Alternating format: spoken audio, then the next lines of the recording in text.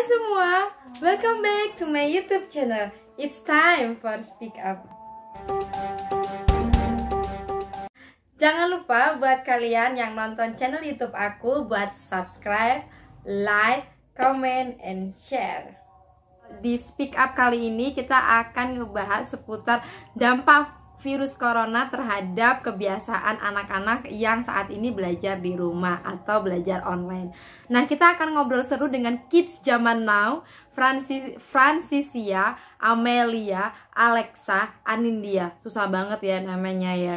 Yaps, kita langsung aja uh, panggil dia Francisia, Alexa, bla bla bla buat sharing pengalaman dia tentang apa yang mereka apa yang dia lakukan uh, saat virus corona ini dan harus belajar di rumah. Kita langsung aja. Oke, okay? oh, Amelia. Hai. Oke, okay, gimana nih kabarnya? Baik. Baik. Oke, okay, uh, kamu tahu nggak tentang corona? Tahu. Jelasin sih, coba. Virus. Gak boleh nyontek. Virus kecil yang mematikan, yang menyerang persaluran pernafasan. Oke, okay, and then? Hmm. Hmm. Oh.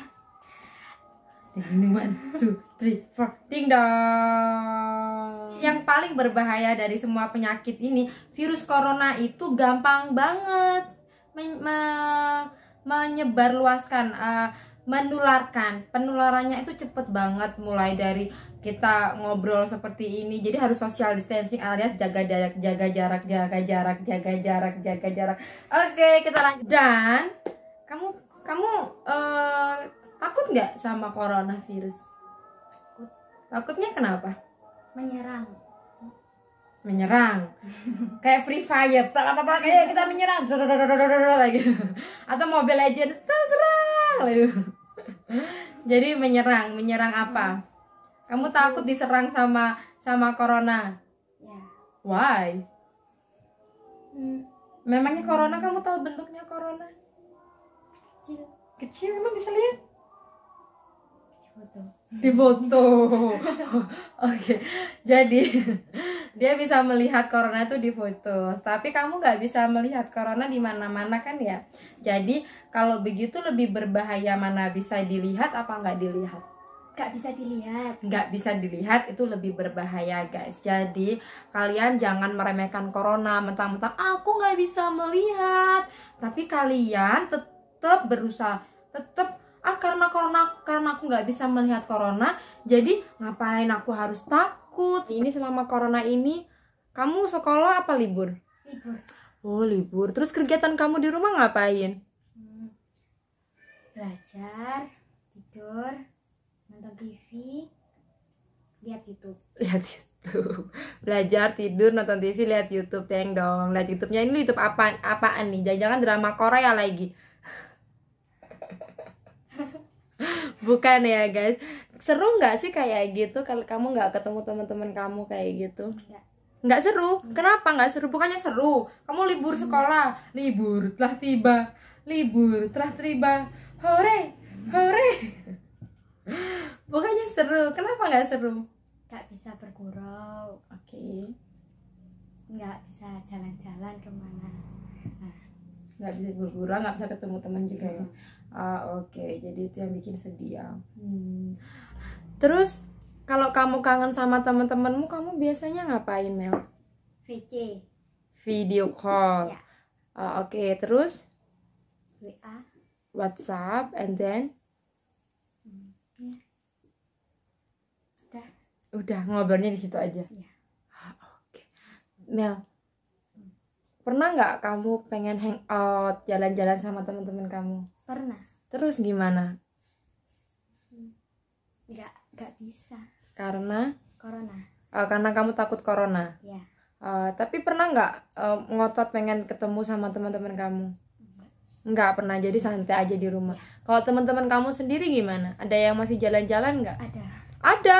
Oh, oke. Kamu berarti harus punya pesan sama teman-temanmu yang di rumah, yang lagi baca, teman-teman. Hai teman-teman aku, kalian harus bagaimana gitu? Ayo, beri pesan kepada teman-teman kamu. Oh iya teman-teman, tetap belajar di rumah dan menambah wawasan. Jangan biarkan virus corona membuat kalian bodoh karena bermalas-malasan dan dan tetap diam di rumah untuk menjaga diri dari virus corona dan selalu cuci tangan, berdoa, ber- beribadah di rumah, belajar di rumah dan melakukan hal di rumah. Tidak keluar rumah untuk mencegah dan menyebar virus corona. Corona ini membuat kita untuk berdekat dengan keluarga dan terus untuk membantu ibu dan terus berkreasi. Teman, kalau cuci tangan harus baik dan benar ya, seperti di video ini. air mengalir.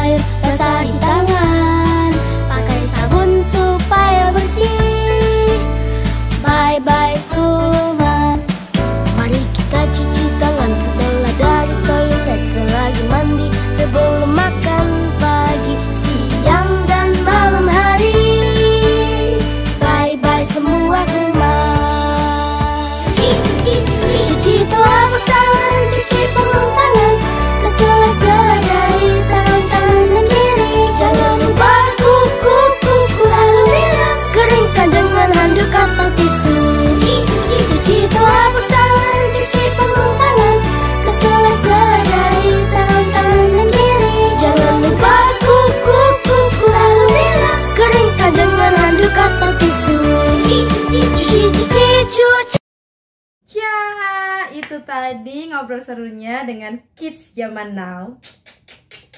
Dan buat adik-adik yang di rumah jangan lupa untuk cuci tangan yang benar.